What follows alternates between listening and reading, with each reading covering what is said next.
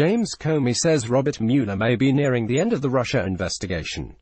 The former FBI director gave an interview to St.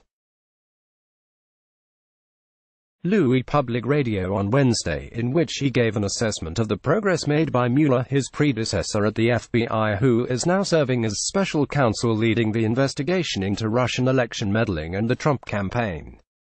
Comey said the fact that Paul Manafort, the former Trump campaign chairman, pleaded guilty to conspiracy and agreed to cooperate with Mueller suggested that Mueller might almost be done. Mueller was named special counsel to lead the Russia investigation in May 2017. Chip Somodevilla, Getty Images Comey said on Wednesday, I think there's an argument to be made that the conviction, the plea and cooperation by Paul Manafort may represent that we're in the fourth quarter. Because the way you normally do investigations is you work from the bottom up, and so they're getting pretty high, he added, however, that he couldn't say with certainty where Mueller's progress was at because the investigation had largely been conducted under wraps. The reason I'm hesitant to even say that is Bob Mueller's conducted his investigation like a pro, Comey said. You know nothing about it except through his public filings, and that's the way it's supposed to be.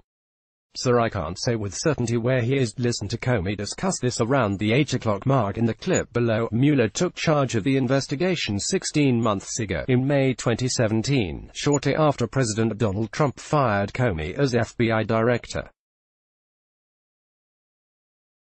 Manafort last week pleaded guilty to one count of conspiracy to obstruct justice and one count of conspiracy against the U.S. in a case that centered on his political consulting work from 2006 to 2015 for pro-Russian interests.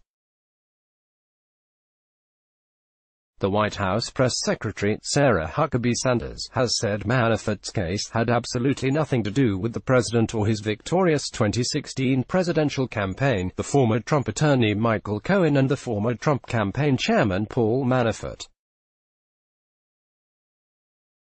Both have pleaded guilty to federal crimes and agreed to cooperate in investigations into the U.S. president.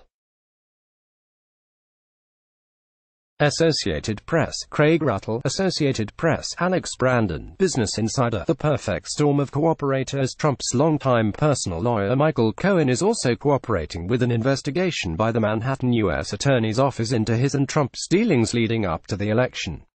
He pleaded guilty last month to five counts of tax evasion, one count of bank fraud, and two counts related to campaign finance violations.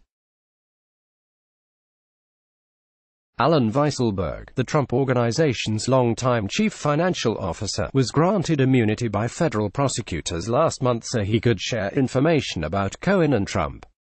One former federal prosecutor said federal investigators had the perfect storm of cooperators.